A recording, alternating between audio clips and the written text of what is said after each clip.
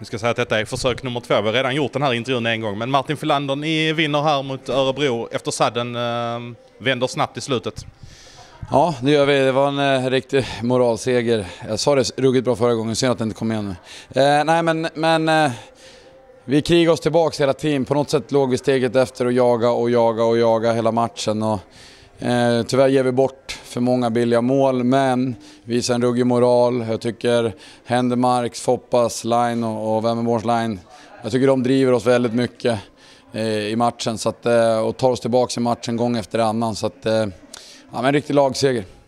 Ni eh, får ett mål där med 31 sekunder kvar tror jag det är och sen så får ni ett i sadden redan efter 15 sekunder. Det går väldigt fort i hockey. Ja, och det är skönt att det trillar rätt för oss för, för en gångs skull också. Vi, jag tycker vi förtjänar, om man ska kolla på all statistik så är vi bäst i allt i den här matchen. Även om vi inte är perfekta. Så att, eh, eh, på något sätt så, så ska det generera fler poäng än motståndaren. Men, men eh, så det, ja, nej, det var skönt. Målen ni släpper in, du är inte helt nöjd med dem?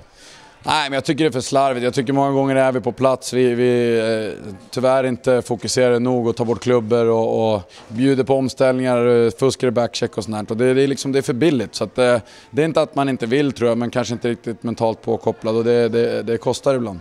Ni coachar under matchen, det blir lite olika omgivning för Rakhshani och Mili. De eh, börjar väl med Sylvegård och sen är det Haudum och sen så är det Wemmenborn på slutet och då går Mili även ut på kanten. Ja, från början så, så försvinner ju Sly, eh, fick en, en skada så han var tvungen att utgå. Då, då kom eh, Haudum in och sen eh, behövde vi få, få ordning på deras tvåvägsspel så då kom, eh, kom även Vemmermore dit och flyttade ut eh, Andy på kanten. Så att, eh, vi tyckte det blev bättre balans i den linjen. Om vi får tala om Rakhshani lite, om vi talar det offensiva spelet. Han kom in här sen fyra veckor tillbaka lite drygt, men det är fantastiskt vilken offensiv spelare det är.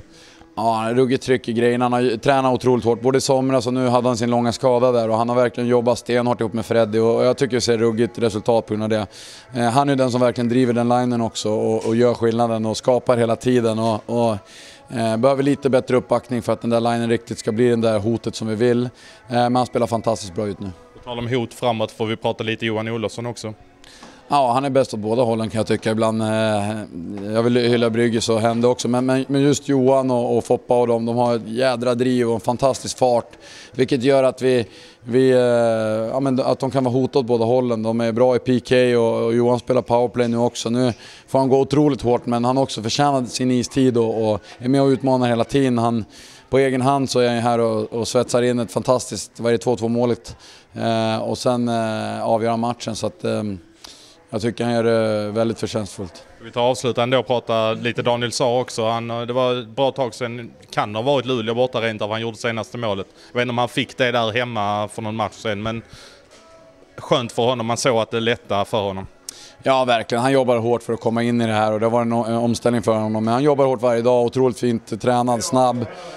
och nu har han, nu har han hittat en bra omgivning här och eh, en line som går hela tiden. De är tre riktigt, riktigt snabba spelare som kan komplettera varandra. Och, och vi vill bara att han släpper loss sin, sin snabbhet och sin fysik här så kommer lägena komma och nu fick han skjuta dit den och det, det är underbart att se att han får, får vara med och avgöra matchen. Havererar din röst lite grann här nu eller?